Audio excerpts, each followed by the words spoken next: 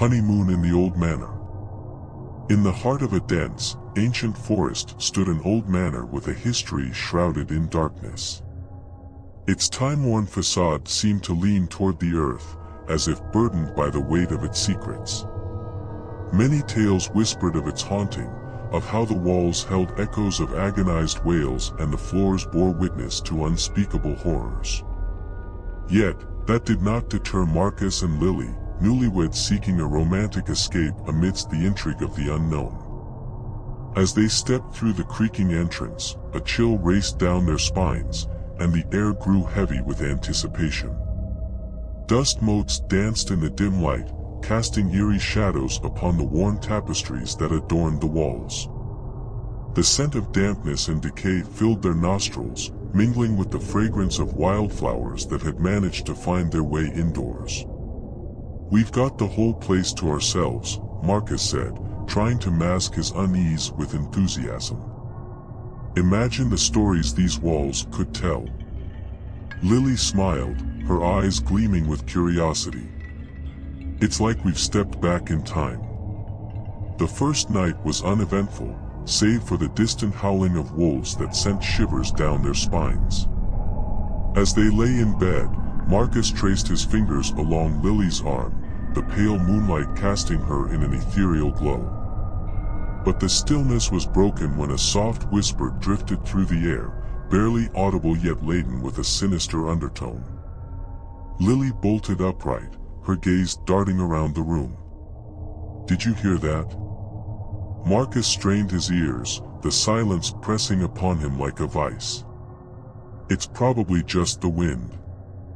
The following day, Lily discovered a hidden doorway in the manor's library. Beyond it lay a narrow corridor that seemed to lead deeper into the heart of the house. Marcus hesitated, but Lily's excitement was infectious, and they ventured forth, the flickering candlelight barely illuminating their path.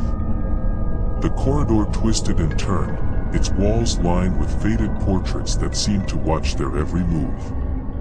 A cold breeze whispered along their necks, and Marcus swore he felt a phantom touch. Maybe we should go back, he suggested, his voice quivering. But Lily's determination held firm. Just a little farther. They emerged into a chamber that seemed untouched by time.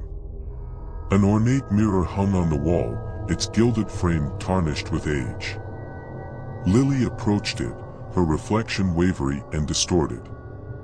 As her fingers brushed the glass, the reflection twisted, revealing a figure that was not her own, a shadowy figure with hollow eyes and a malevolent grin. With a scream, Lily stumbled back, her heart pounding in terror. The mirror rippled like water, and the shadowy figure stepped out, tendrils of darkness curling around it. Marcus grabbed Lily's hand, and they fled the chamber, their footsteps echoing through the corridors as if pursued by an unseen presence.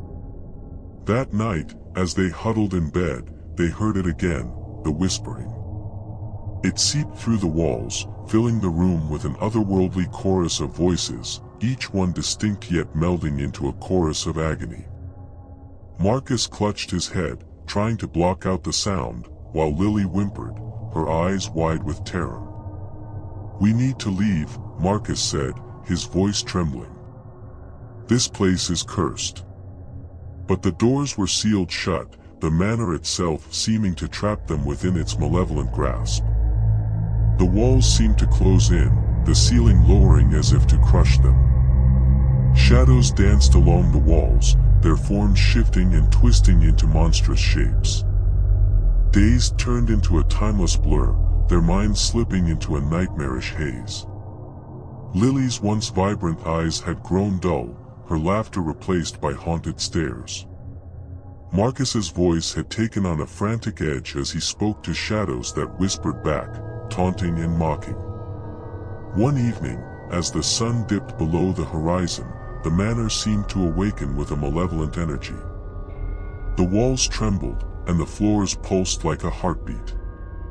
The whispers grew louder, a cacophony of torment that threatened to shatter their sanity. And then, silence. Marcus and Lily found themselves standing in the center of the manor's grand hall, the darkness pressing in around them. The air was thick with an oppressive stillness, the shadows frozen in anticipation. And then, a voice, a singular voice, seemed to emanate from the very walls. Welcome to your eternal union. The manor trembled once more, and Marcus and Lily were consumed by darkness. To this day, the manor stands in the heart of the forest, its secrets buried deep within its walls. The whispers still echo in the wind, tales of a honeymoon gone awry, of a love devoured by the darkness that dwells within. Those who dare to venture near hear the mournful cries of the lost souls, forever trapped in a timeless dance of torment and despair.